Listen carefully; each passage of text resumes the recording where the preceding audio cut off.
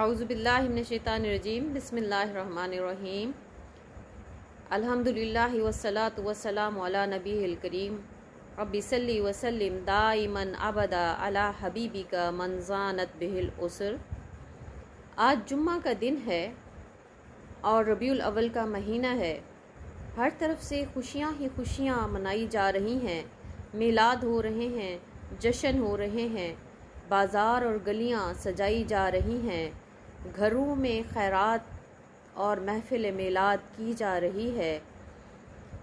आप सल्लल्लाहु अलैहि वसल्लम की आमद वाकई इतनी एहतराम की मुस्तहिक है कि उसे दोबारा हर इस महीने में याद किया जाए और दोबारा आप सल्लल्लाहु अलैहि वसल्लम की, के बेसत का जो मकसद है उसको दोहराया जाए और उन हदूद व क़यूद का ख्याल रखा जाए जिनका आप सल्लल्लाहु अलैहि वसल्लम ने हमें हुक्म दिया। इजहार इश्क से तो खुदा भी न रह सका। इजहार इश्क से तो खुदा भी न रह सका। तारीफ़ हुसन मोहम्मद में सारा कुरान लिख दिया। और नबी अकरम सल्लल्लाहु अलैहि वसल्लम की आमद और आप सल्लल्लाहु अलैहि वसल्लम की बेसत इतनी बड़ा एहसान है अल्लाह ताला का कि अल्लाह ताला ने ख़ुद कुरान मजीद में इसको बतौर एहसान गर्दानते हुए सूरत आल इमरान की आयत नंबर एक सौ चौंसठ में फ़रमाया, लक़द मन अल्लामिना इस फ़ीहिम रसूलम मिन अनफुसिहिम यतलू अलैहिम आयातिही व युज़क्कीहिम व युअल्लिमुहुमुल किताबा वल हिक्मा वइनकानुमिन कबलफ़ी मुबीन। बेशक अल्लाह ताला ने मोमनों पर एहसान किया जब उनमें, उन्हीं में से रसूल भेजा, जो कि उन पर अल्लाह ताला की आयत पढ़ता है और उन्हें पाक करता है और उन्हें किताब और हिकमत व दानाई की बातें सिखाता है और जबकि वो इससे पहले बिल्कुल खुली गुमराही में थे।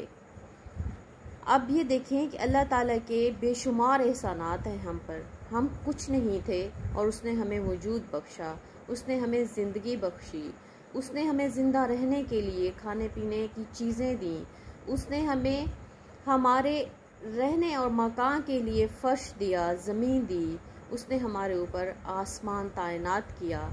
उसने हमारे खाने के लिए चरिंद, परिंद और सब्ज़ियाँ, फल सब कुछ उगाए। एक इंसान के लिए सबको ताबे कर दिया। लेकिन उस ज़ात मुक़दस ने किसी भी चीज़ का एहसान नहीं जिताया। उसने सिर्फ़ एहसान बताया तो नबी अकरम सल्लल्लाहु अलैहि वसल्लम की नबूत को बताया। और उसकी वजह क्या बताई? उसकी वजह सबसे पहले ये बताई कि आप सल्लल्लाहु अलैहि वसल्लम हम ही में से, यानी इंसानों में से तशरीफ़ लेकर आए। ना अल्लाह ने जन्नात में से कोई नबी बनाकर भेजा, ना ही फरिश्तों में से कोई नबी बनाकर भेजा। अगर ऐसा होता तो उसकी इत्तबा करना बहुत मुश्किल हो जाता। फिर अल्लाह ने क्या फरमाया? अल्लाह ने फरमाया कि वो उन पर अल्लाह की आयत पढ़ते हैं, यानी कि अल्लाह की जो आयत हम पे बयान की गई हैं, जो अल्लाह के अहकाम हमें बताए गए हैं, उन पर अमल करना और उन पे अमल पैरा रहना ही उस एहसान का बदला चुकाना है, या उसी एहसान के साथ उस मोहसिन का शुक्रिया अदा करना है। फिर अल्लाह ने फरमाया कि इंसान का तज़किया करते हैं कैसे तज़किया करते हैं? इंसान के दिलों को पाक करते हैं।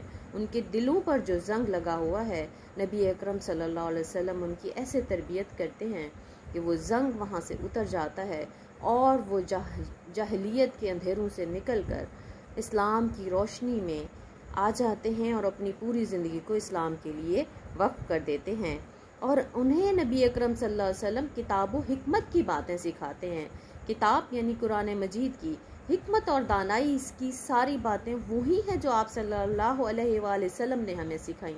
और दीन ही पूरा जबता हयात है।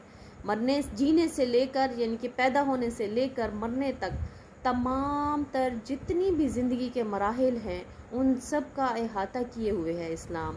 चाहे वो आपकी घरेलू ज़िंदगी है, चाहे वो आपकी सियासत है, चाहे वो आपकी अदालत है ज़िंदगी का कोई एक शोबा तक इस्लाम ने नहीं छोड़ा। सुबह से लेकर शाम तक की डेली रूटीन के बारे में एक एक चीज़ की तरबियत की गई है और इससे जो रूगर्दानी करेगा, वो कोई हकीम, कोई दाना नहीं उस इंसान से बढ़कर कोई बेवकूफ़ नहीं।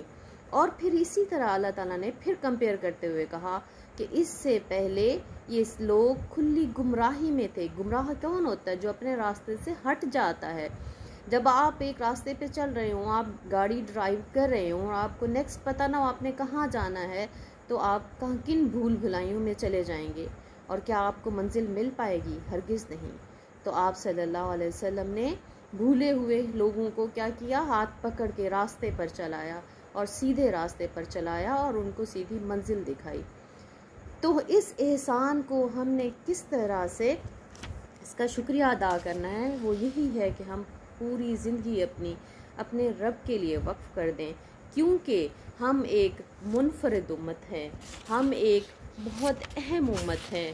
हम ऐसी उम्मत हैं जो कि नबी आखिर की उम्मत हैं, जो कि ख़ातमुलनबीन हैं, जिनके बाद कोई नबी नहीं आएगा।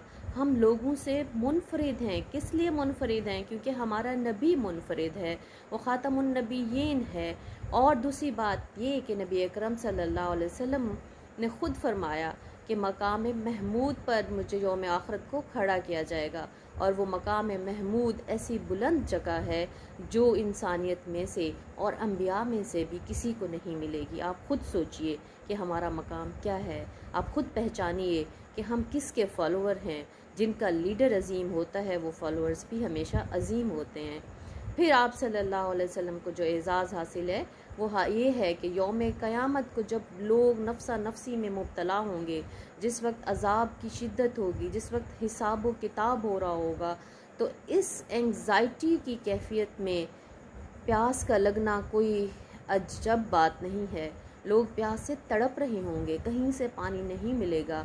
और उस वक्त अल्लाह ताला हमारे प्यारे नबी को, सिर्फ़ हमारे नबी को हौज़ कौसर अता करेंगे। एक ऐसा हौज़ जिसका नाम कौसर है और आप सल्लल्लाहु अलैहि वसल्लम वहाँ से अपने उम्मतियों को या जिनको चाहेंगे, वहाँ से पानी पिलाएँगे। और आप सल्लल्लाहु अलैहि वसल्लम को जो एज़ाज़ हासिल है, वो एज़ाज़ ये है कि आप सल्लल्लाहु अलैहि वसल्लम, सिर्फ़ आप सल्लल्लाहु अलैहि वसल्लम, अल्लाह ताला की इजाज़त से रोज़े क़यामत जिसकी चाहेंगे शफात फरमाएँगे, आपके अलावा कोई किसी की शफात नहीं कर सकेगा। तो आप देखिए, अपना मकाम पहचानिए और अपनी थोड़ी सी ज़िंदगी जो अल्लाह ने हमें दी है, उसको देखिए कि कहाँ वक्फ करना है और उसको किस तरह से चलाना है। कहीं हम अपना नुकसान तो नहीं कर रहे, कहीं हम बड़े फ़ायदे के, को छोड़कर, कहीं छोटा फ़ायदा तो हम नहीं सिलेक्ट कर रहे।